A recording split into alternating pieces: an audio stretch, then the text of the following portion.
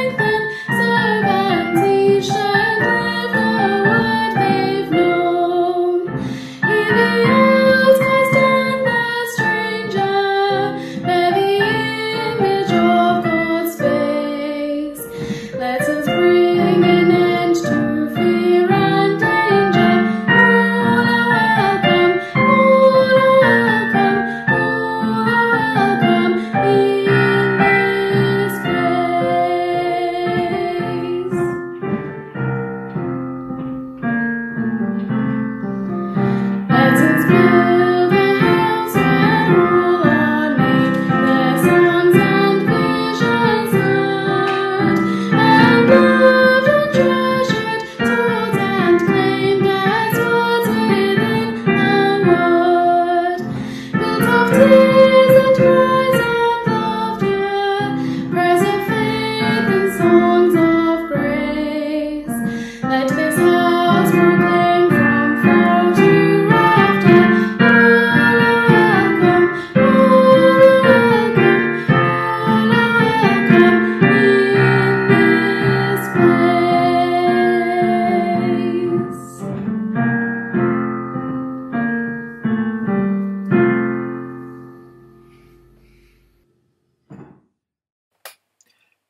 turn on the tap, we turn our hearts towards you, O God. As we wet our hands, renew our thoughts, so we might be transformed. As we lather soap between fingers and over all our hands, purge from us all that brings us harm and might harm others. Remove the invisible guilt and shame that so often keeps us from you. As we rinse our hands, we trust in your overflowing grace, making all things new. Amen. In a recent parish newsletter, Chris talked about joy, getting our lives in the right order Jesus, others, yourself. Christian Aid Week is a real reminder of the need of that order. It's a time to be particularly aware of the needs of others. We've just washed our hands, and hopefully, some of us are aware that in some of the world, people don't have running water, that some people go thirsty and hungry. And we have a part to play. We can help. But some people, and probably all of us at some time, get joy backwards. Yourself comes first. If you like, we in another way wash our hands of the needs of others. We think only of me. But this has consequences for others and ourselves. Let's have a look.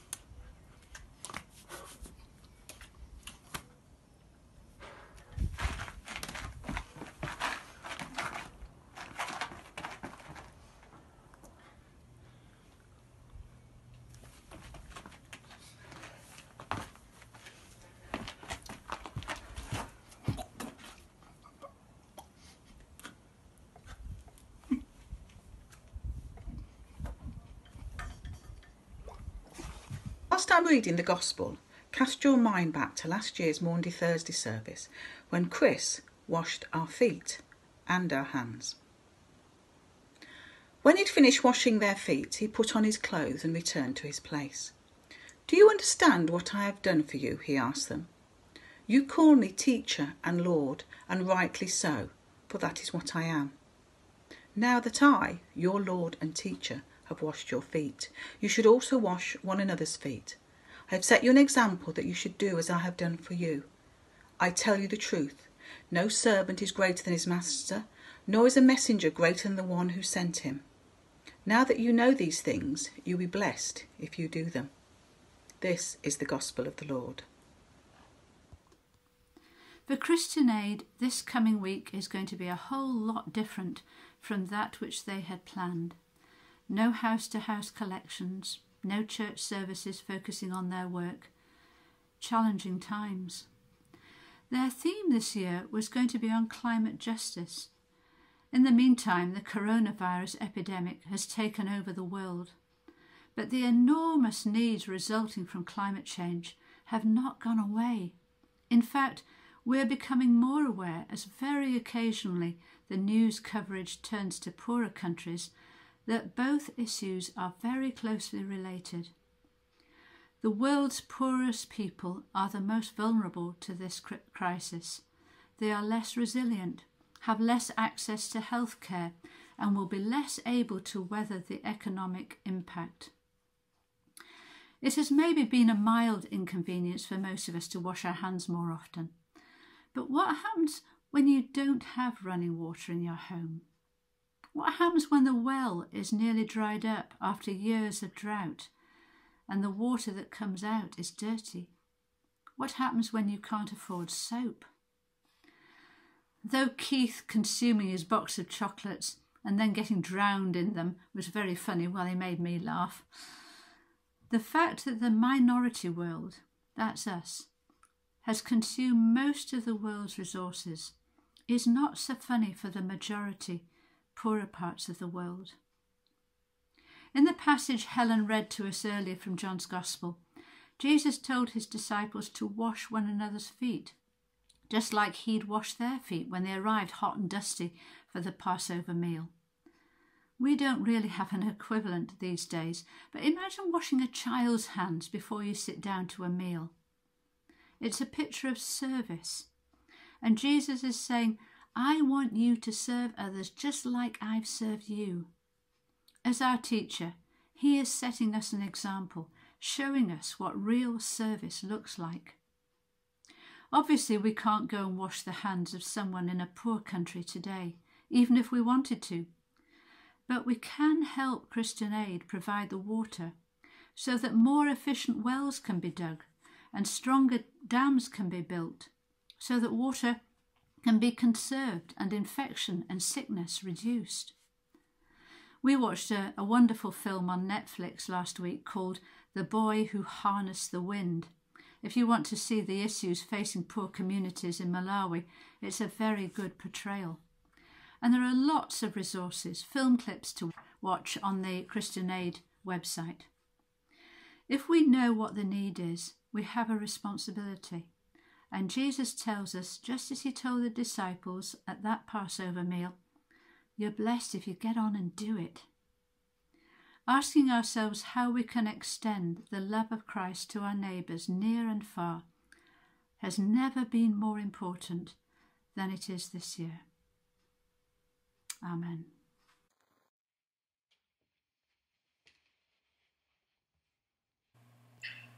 Let us pray. God, our refuge, we come to you with open hands, some of us with hearts full of questions, some of us bruised by bereavement, some of us fearful of what the future holds, all of us stunned by the events of this year. Draw close to us now in each of our homes as we place our honest questions and hopes into your open, resurrected, yet scarred hands. God, in your mercy, hear our prayer. With the honesty of the psalmist, the wrestling questions of Job, and the lament of the prophets, we bring to you our questions or our silence.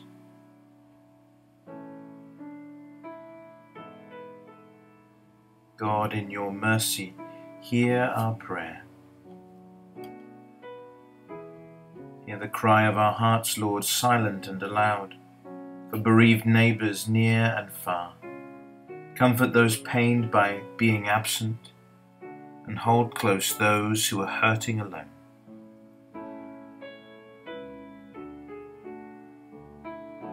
God, in your mercy, hear our prayer. In this season of Easter, renew us with resurrection hope that while weeping lingers in this night, joy will come with the morning.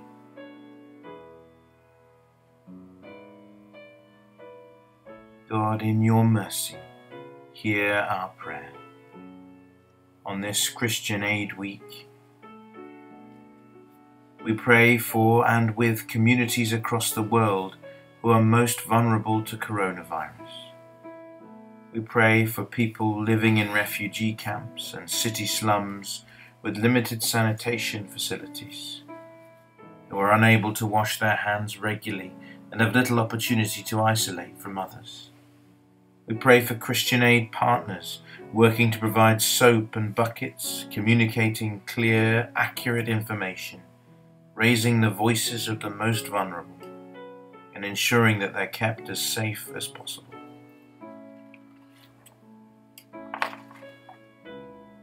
God, in your mercy, hear our prayer. For those of us who are self isolating, which can sometimes feel like we aren't doing anything at all, remind us that we're all doing our part in saving lives by staying at home. God, in your mercy, hear our prayer. We pray for much wisdom and resources for those in local and national authority, for all the front line and key workers. God, in your mercy, hear our prayer. As lots of us have clapped to honour them, we clap our hands now in praise of your glorious creation, and with the hope that, that the first shoots of another possible world are coming into view.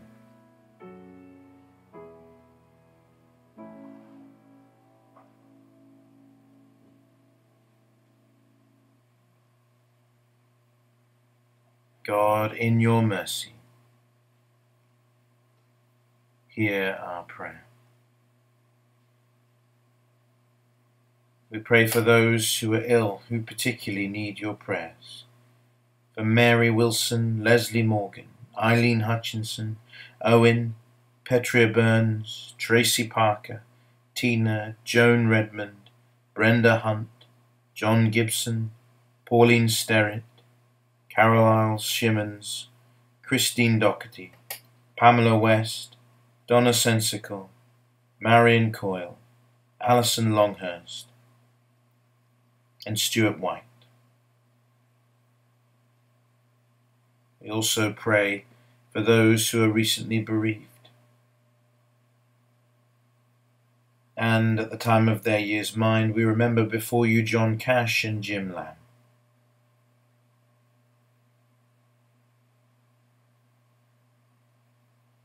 Help us, like them, to walk in your ways, and when our end too comes, be met with you and seen over the threshold of death in light and love.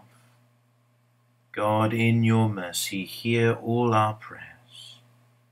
Amen. Our Father, who art in heaven, hallowed be thy name. Thy kingdom come, thy will be done in earth as it is in heaven. Give us this day our daily bread, and forgive us our trespasses, as we forgive those who trespass against us. Lead us not into temptation, but deliver us from evil. For the kingdom, the power, and the glory are yours, now and forever. Amen. As we go offline and wash our hands again, a blessing for us. May the presence of the Creator refresh you. May the comfort of the Son renew you. May the inspiration of the Spirit restore you. To be love in action, even from a distance, in our neighborhoods near and far, this day and for evermore. And the blessing of God Almighty, the Father, the Son, and the Holy Spirit be among you and remain with you always. Amen.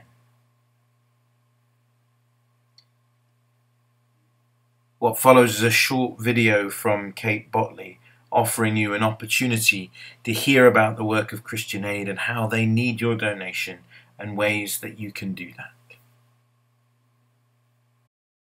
This Christian Aid Week, we need your help to support people living in poverty around the world who are facing the challenge of coronavirus. Christian Aid is providing vulnerable men, women, and children with clean water, vital hand washing training, and life saving food. But we desperately need your help. Please, could you give us just £5 to help us save lives? Please text HELP to 70020 or visit us online to make your donation today.